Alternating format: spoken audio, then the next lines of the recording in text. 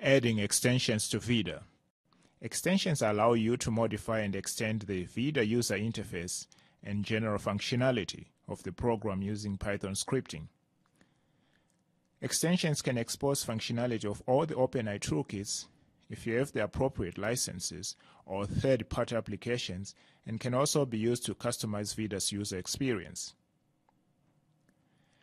They provide a convenient way to carry out regular tasks, streamline corporate workflows, and connect VIDA to other systems.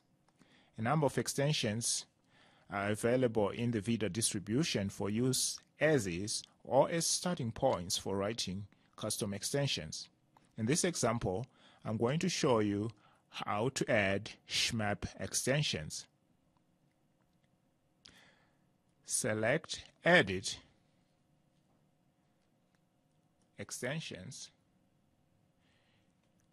and in the Manage Extensions dialog, click on the Browse icon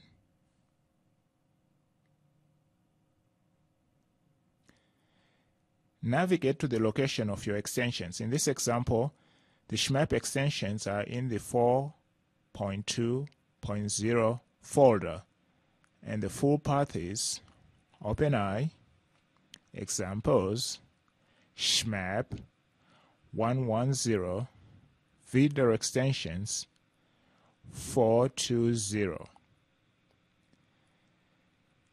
Next, select the SZMAP extensions click open.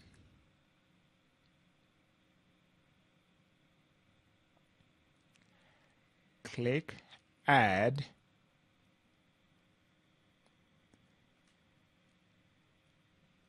and the three SZMAP extensions are added. We have here water orientation, color by atom properties, and watercolor.